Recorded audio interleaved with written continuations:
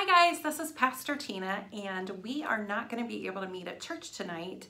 And so I am coming live to you from my home in my backyard in my sunroom. And so I wanted to talk to you a little bit about something we've been talking about for the last few weeks in Kids Church. We've been talking about Nehemiah who left being the cupbearer to the king and went to rebuild the walls of Jerusalem.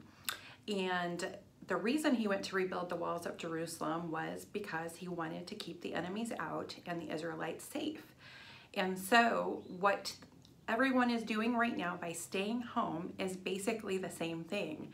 We're keeping the enemy out, which is sickness and disease and stuff like that, and we're trying to protect ourselves um, from that for a season while they get it all cleared up. And so we're kind of doing a little bit of what Nehemiah did, just in a different way. And so I just want to encourage you today don't get discouraged, don't give up. Remember, keep persevering. And I have a project for you to do. I need you to build some walls. And it's not going to be easy. And your parents might think I'm crazy, but I think you can do it. So what I want you to do is I want you to build the best fort ever and I want you to take a picture of it.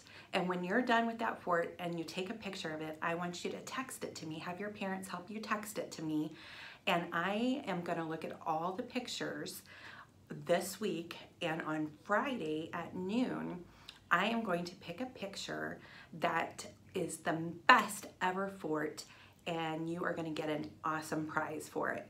So if you would, make sure to make the best fort ever and make sure you're in the picture. So do your best right now.